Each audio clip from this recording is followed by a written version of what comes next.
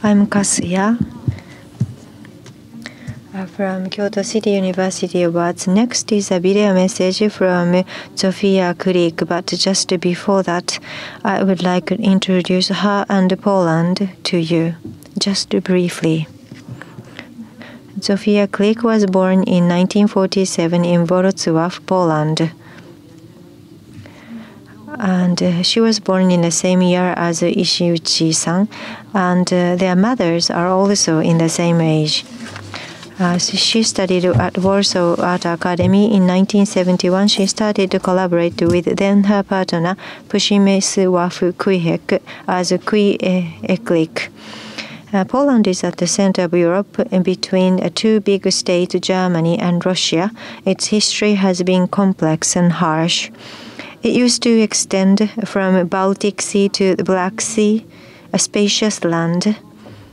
But in the 19, uh, 18th century, the nation was divided three times by Prussian, Russia, and Austria, and its nation wiped out from the map.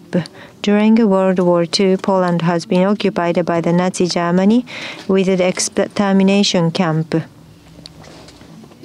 After the war, under the control of Soviet communist, ideologically, socialist uh, realism was the only expression allowed by the state.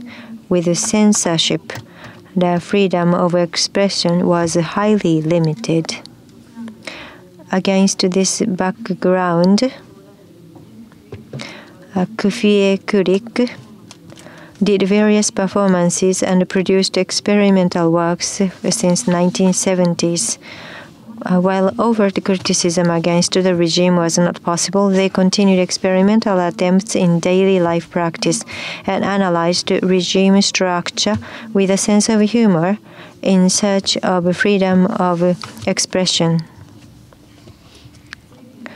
In 1987, she started a solo performance but continued to analyze various images based upon critical um, perspectives.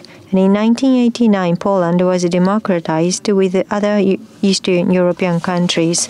Societies underwent cataclysmic changes. In this turbulence, Kulik created a photo collage, large pieces consisting of multiple elements questioning about voluminous images distributed on media, its influence and control. Her works are highly regarded globally. In 1997, they were displayed on behalf of Poland at the 47th Biennial and also were picked up in Documenta 12 in uh, 2007. And KwieKulik and their fellow neo avant garde are now positively revisited for their boldness of activities under socialism. Their works are now archived. She was not able to make it here today, unfortunately, but she kindly joined us with her video message. Please have a watch.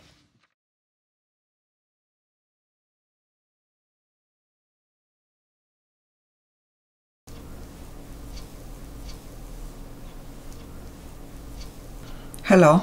My name is Zofia Kulik. I'm living in Łomianki, suburbia of Warsaw in Poland. There is a spring 2016 and everything around is flourishing.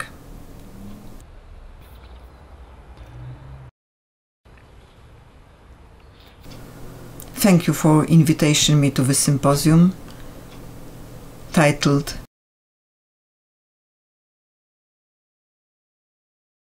Unfortunately, I cannot come to Kyoto and I am very sorry.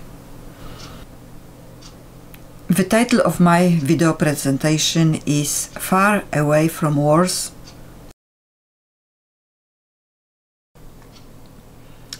I was planning to present two of my works, which are good answers to the title, I suppose, to the title of the symposium.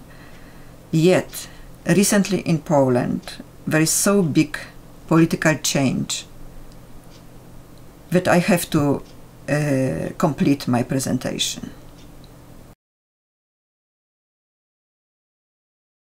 Since December 2015, I have been participating in manifestation for manifestations, plural, for democracy in Poland.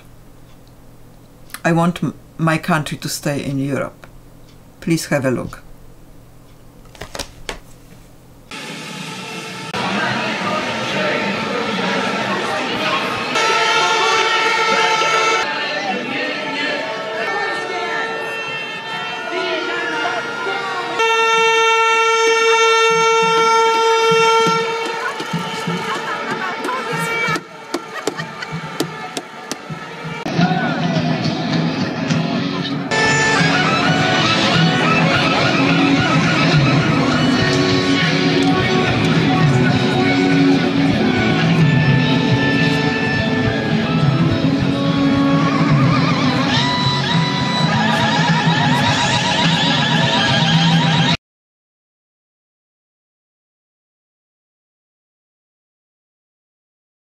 All the missiles are one missile.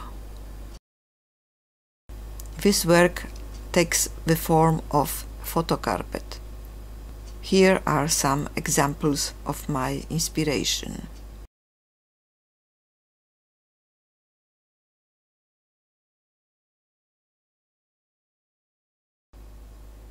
When you look from afar, the composition appears to be a geometric pattern. However, as one comes closer, realistic images can be recognized.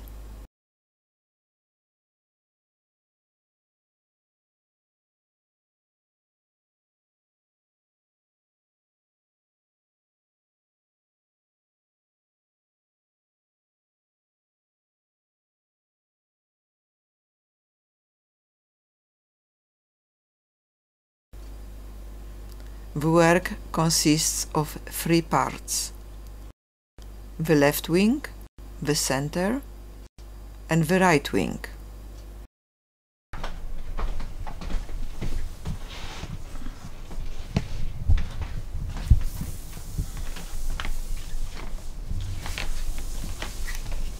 The left and right wings look as if they were horizontally placed church facade where one part is a mirror image of the other.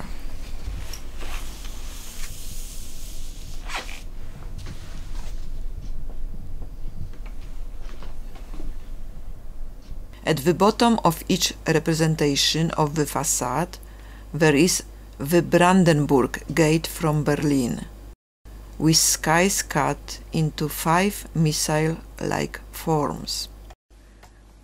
When you look closer, you realize that the symmetry of those two parts is only illusory. The left wing is devoted to a woman. In the middle of rosette is a monument of the country our mother from St. Petersburg. The monument is surrounded by an oval filled with multiplied figure of a woman holding a drapery. Between the rosette and the gate there is a reproduction of Szyndler's painting Eve from 1902. On both sides of the facade you can see frames from a television screen with women lined up in rows, dancing girls, Miss America competition, Chinese girls singing in the name of Mao, etc. The right wing is devoted to a man.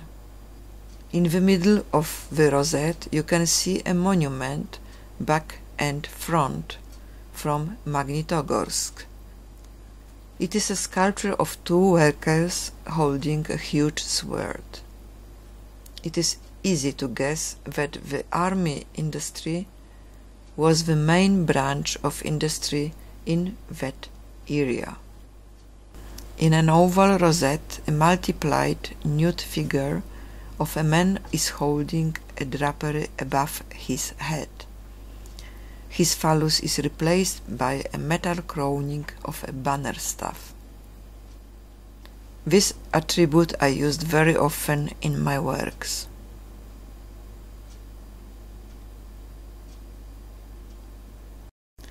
On the left, from the rosette is a man with a stick directed towards the center of the composition, analogical to where the painting of Eve is on the other side of the work. The areas next to triangle facade are filled with television frames showing rows of soldiers from all over the world.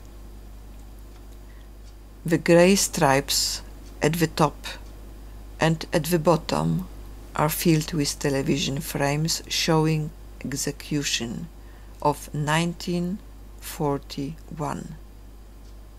These frames I took from a documentary, The Russia We Lost, shown by Moscow Television in February 1993.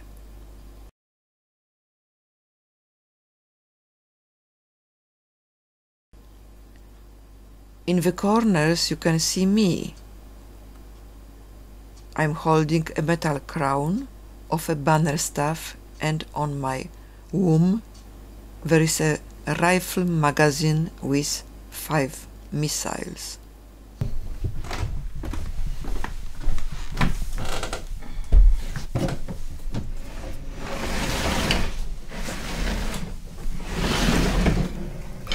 The title of the work, All the Missiles Are One Missile, is a paraphrase of Eliot's words, All the women are one woman.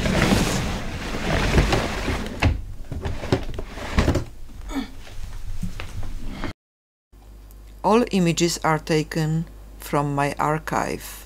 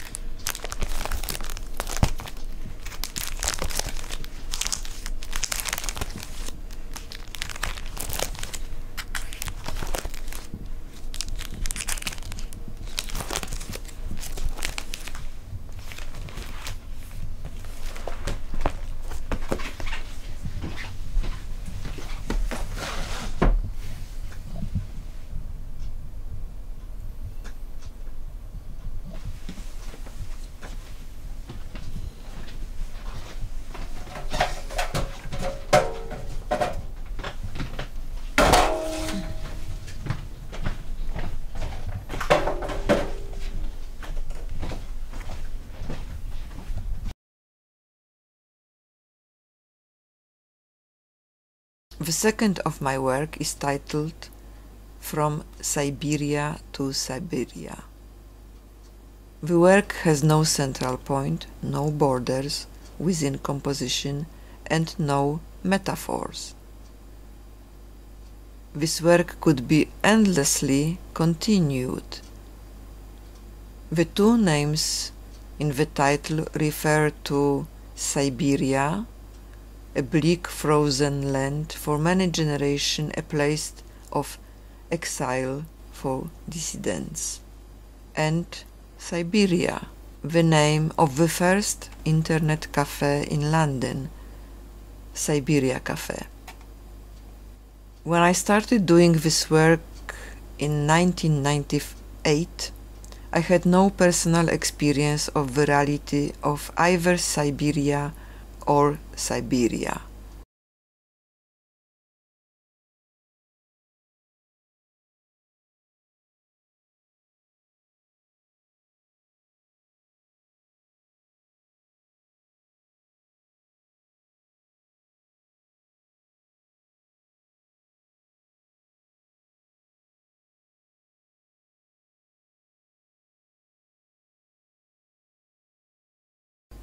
Through many years, I took photographs of images on television screens.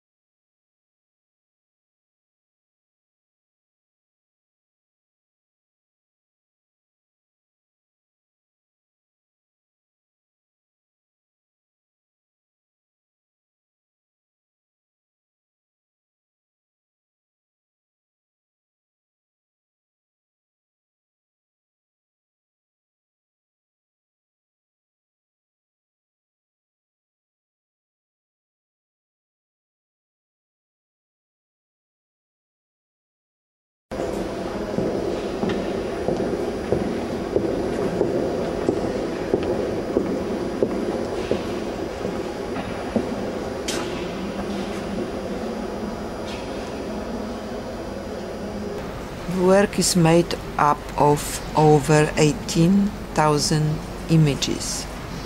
The idea was to record the river of television images which drift in front of the eyes of most inhabitants of the planet, and my eyes included.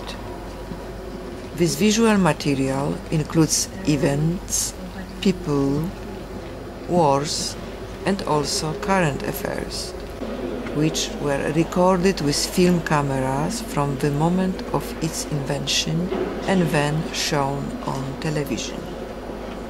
I was personally distant from those events, and yet they have helped to create my mind and sensibility. And the work is like a trace of what my eyes have seen.